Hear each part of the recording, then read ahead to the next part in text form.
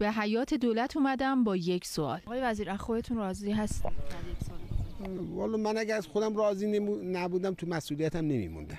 سینما موفق عمل کرد. به نظرم بعد از تقریبا سی سال ریل سینما برگشت. یعنی شما تونستید مردم رو بیشتر به سینما بکشونید نسبت به سال قبل؟ ببینید ما امسال یه بحرانی رو برای ما تحمیل کرده ولی در این فقط جشنواره در تهران در ایام جشنواره 400 هزار نفر رفتن سینما.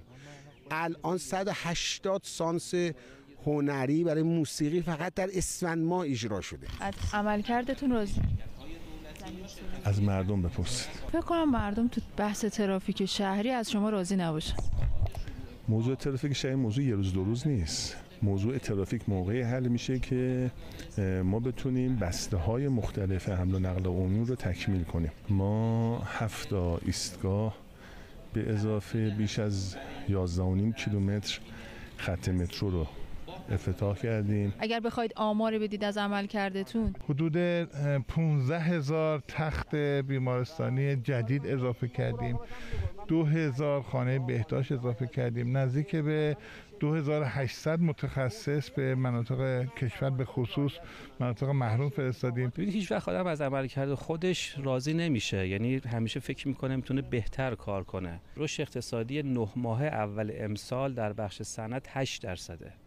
در حالی که نه ماه اول سال 1400 3 درصد بود. وزیر گردشگری هم که عملکرد ما زیر ذره بینش بود. سلامت این خسته نباشه گزارش خوب شما رو می‌بینیم. از عملکرد خودش اینگونه گفت. من هیچ وقت خودم راضی نمیشم. چون اگر راضی بشیم اول, اول پس رفته. نه کمالگرا نیستم. من عملگرام. تونستید گردشگر در یک سال گذشته نسبت به سال قبلش بیشتر کنید؟ اون چه که مهم بوده بعد از کرونا و بعد از توقف در واقع جدی که وجود داشته در طول د- 20 ماهی که کرونا بوده تلاش زیادی برای زیرساختها انجام گرفته. وزیر نفت ظاهرا آماده این سوال بود. پروژه های نیمه کاره در این سال 1401 در دولت 13 وزارت نفت انجام داد 31 پروژه به ارزش 12 میلیارد دلار. کدوم یکی از وعده هاتون تو سال 1401 محقق؟ شد؟ بیش از 93 درصد دستگاه های اجرایی به پنجره ملی خدمات دولت هوشمند متصل شدن. همین که اونجا تبدیل شده به یک اتاق شیشه ای که هم مردم هم مسئولین می‌تونن ارزیابی بکنن. وضعیت خدمات رسانی دستگاه مختلف رو این یک قدم رو به جلو